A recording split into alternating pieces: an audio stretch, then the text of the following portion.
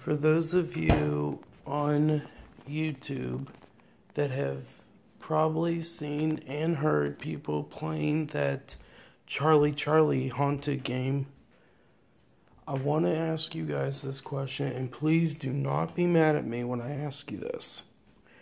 Do you think I should attempt that Charlie Charlie game?